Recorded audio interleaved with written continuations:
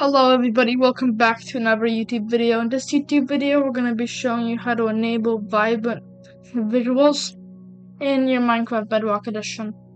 Now, to start off, the first option you can try is making sure you are on the latest Minecraft Bedrock version, which is currently 1.21.92.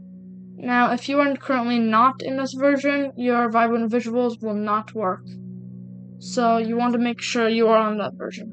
Now, if you tried that already, and you are still not um, allowed to enable vibrant visuals, then you want to make sure you are not enabling it in your world because it may not work in your world and still be grayed out.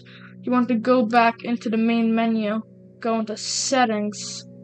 Once you are in settings, go to general, video, scroll down a bit, towards the bottom, and then it should be there.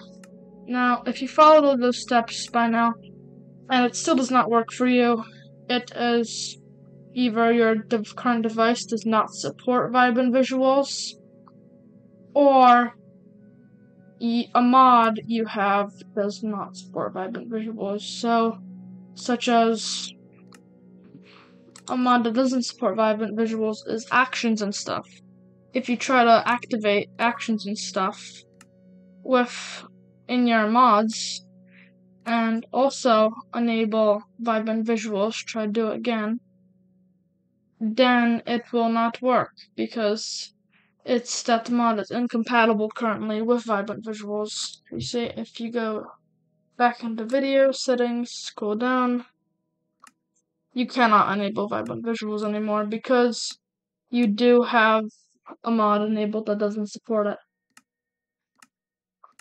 I hope this YouTube video helped you find out how to enable vibrant visuals in your Minecraft. And I'll see everybody in the next one. Bye.